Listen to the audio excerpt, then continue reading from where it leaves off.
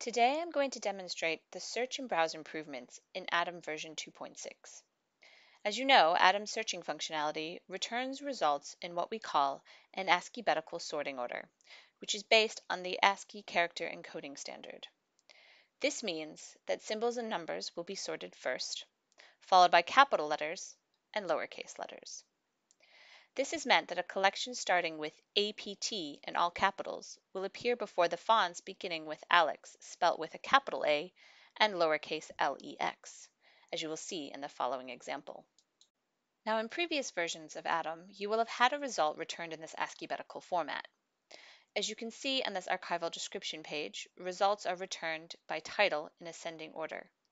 Here the symbol comes first, followed by the numbers, and then any capital letters. It does not follow alphabetical sorting. You see here the APT environment collection will appear before both the Aaron Moulton and also here the Alex Potter fonds.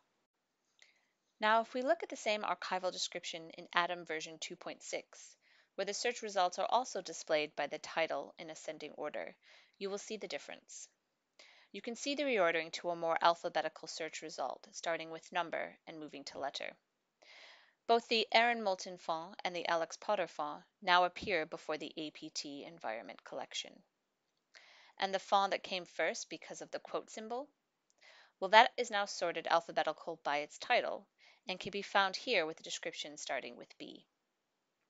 For more information on these search changes, please see the version 2.6 release notes. Thank you.